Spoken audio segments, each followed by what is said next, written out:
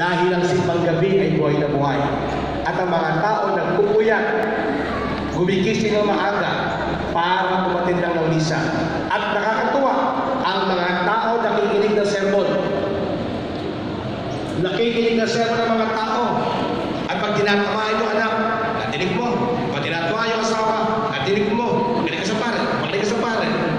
Kaya may tuwa. Hindi nyo masabi sa anak nyo, hindi nyo masabi sa asawa nyo. Tak, magaling ka sa pare. Huwag mo, sinabi ng pare yan ha. Sinabi ng pare, hindi ako nasabi yan ha. Dahil nagkakaroon na tayo ng spiritual awakening. Thanks be to God. Thanks be to God. Dahil ang mga tao ay nagkakaroon ng pananaw sa mga bagay na spiritual. Salamat din po sa inyong pagsuporta. Salamat po sa inyong pagsisimba. Salamat po, dinadala niyo ang inyong mga anak. Salamat po, kumpleto kayo. Salamat po dahil simula na ito ng pagbabago ng ating puso at ng ating buhay, ng ating pamayanan at ng ating simbahan. Palakpakan natin ang Panginoon. Panginoon oras na kaya nga ang Pasko ay pag-asa, ang Pasko ay kagalakan, ang Pasko ay pag-ibig, ang Pasko ay kapayapaan. At yan ang ating dinadasal ngayong Kapaskuhan para sa papasok ng 2020. Gusto natin maging masaya, gusto natin maging payapa, gusto natin pagmahal, mga kaibigan, gusto natin may pag-asa. Na kahit mahirap ang buhay, kumakapit pa rin tayo sa Diyos na may magandang mangyayari sa mga araw na dadating at taong 2020 dahil kasama natin ang Diyos. Amen.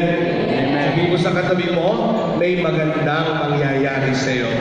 Magandang nangyayari sa inyo. At alam ko, tayo mga Christmas wishes.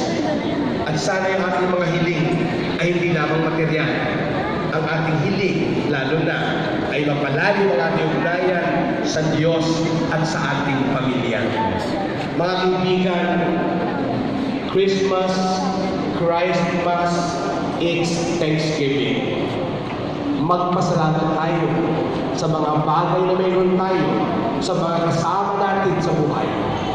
Dahil sa totoo lang ko, marami ng taon ang dumating, marami rin wala sa buhay natin. Dati, marami tayo. Ngayon, kunti tayo.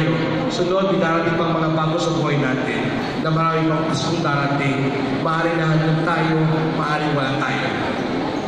Kaya nga, we always appreciate every moment, every year, every day of Christmas. We appreciate everyone, everything we have. And we thank God. Sabi nga sa unang pagbasa, ikalawang pagbasa, God is gracious and God is generous. Palakpakan natin ang Panginoon. Amen. Amen. God is gracious. God is gracious. God. God is generous. Because Christmas is God's generosity. Christmas is God's graciousness. Ito ay magandang loob ng Diyos na minarapat na isuko ang upang tayo iligtas. Dahil tayo'y mahal na mahal ng Diyos. Ngayon at kailanman. Palakpakan natin ang Panginoon. Kaya pinakamaganda araw-araw,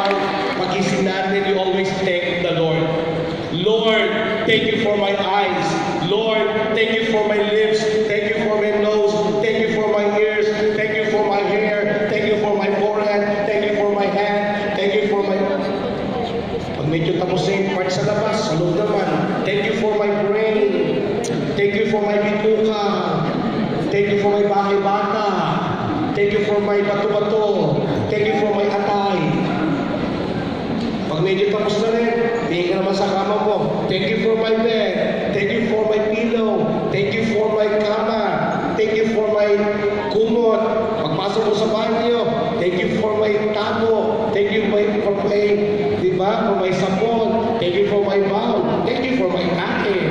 Magpasalamat mo lahat yan. Di ba? At magdoong sa bintana. Thank you for the birds. Thank you for the sky.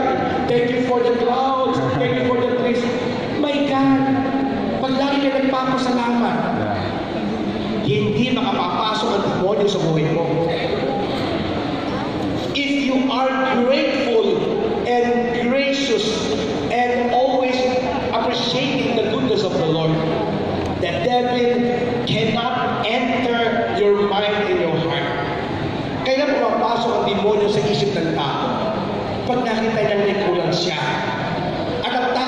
grateful lang, ibig sabihin, hindi na-appreciate yung mga bagay na meron siya. At ang mga tao hindi na-appreciate yung mga bagay na meron siya, naghahanap pa ng iba. At yung naghahanap pa ng iba ay mga tao na walang contentment and they always compare themselves and they are not happy. Diyan pumapasok ang demonyo at ang ibubulong sa iyo, kawawa ka naman, wala kang kasama, wala kausap, wala kang gamit, kawawa ka naman, di ka magaling, tatanga-tanga ka, kawawa ka naman. That's how the devil works. If you are grateful, the devil cannot enter. If you are not grateful and always discontented, papasok ang demonyo. Uy, kulang pa, dagdagan mo pa, dagdagan mo pa, kawawa ka. Kailangan yung kaibigan mo na yan, malampasan mo, mas tama magaling ka dyan, dapat meron ka more, more. Mga kaibigan, if you have Christ, you're contented and you're grateful. If you have no Christ in your heart, lalo ka naghahanap. Lalo ngayong Pasko. May lechon, kami wala. Pag sila, may bagong sapatos, kami wala. Pag sila, pumunta ng SM, kami dito lang sa palengke ng pulo. Pag sila, kasi sa palengke, meron ko na Mga kaibigan, if you have Christ, be happy, be contented, be grateful. Palamakan natin ang Panginoon. Ng iyong pangangailangan, umasa tayo sa Diyos. Amen! Amen. Meron nga pong nagdadasal kasi nga ngayong Pasko medyo salat din. Pero sabi niya, Lord, alam ko naman, hindi mo ko mababayaan. Lord, sana mo, ibabigay sa akin ng ham and cheese. Eh, sa apartment siya nakatira, sa kabilang pinto, meron siyang kapitbahay na dinig yung dasal niya. Ba't ka dasal na dasal kay Lord? Bibigyan ka ba ng ham and cheese, Lord? Hindi ka bibigyan ni Lord at hindi totoo si Lord.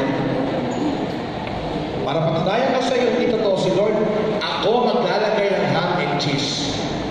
Hindi nilagay niya sa pinto nung nagdasal. Pagbukas ng pinto nung nagdasal, Lord, thank you! May ham and cheese! Answered prayer! Tapos sabi ng kapitbahay sa apartment, Anong answered prayer? Ako lang naglagay dyan eh. Hindi naman binigay ni Lord dyan eh. Talaga tatlo tanga. Sabi rin ng nagdadasal, Lord, may ham cheese na ako. Pwede mo ba slice bread? Lord, slice bread, please, oh Lord. At siya yung time team na nagdasal. Dalawa sa kami ng apartment. Ito talaga sila uno. Wala namang Lord, Lord eh. Hindi pa siya nangingi. Patutunayan ko sa iyo walang Lord. Ako maglalagay ng slice bread. At nilagay yung slice bread. Pinto, wow Lord, answered prayer. Meron mo ko slice bread. Sabi nung ko sa kami ng pinto, sinabi na ako na naglagay yan eh. Ito talaga, walang Diyos. Ako naglagay yan. At sabi nung nagdasal, Lord, total naman lahat binibigay mo sa akin. Thank you, Lord. Pwede mo ba? iPad. iPad. IPad naman. Pakikilala ko sa kanya na walang Diyos. Kinatok niya. Excuse me. Ikaw dasal ka ng dasal. Patigil mo ka ng patigil kay Lord. Hindi naman galing sa kanya yan. Ako naglagay ng ham. Ako naglagay ng cheese. Ako naglagay ng sliced bread. Dapat nga lamang napakamahal ng iPad na yan. Dapat bibigay ko rin yan. Pero hindi ko kaya. Kaya lumandang ako sa'yo. Walang Diyos. At tumingala yung lalaki. Lord, salamat po kahit demonyo, ginagamit nyo para ibigay nyo ang hinihingi ko.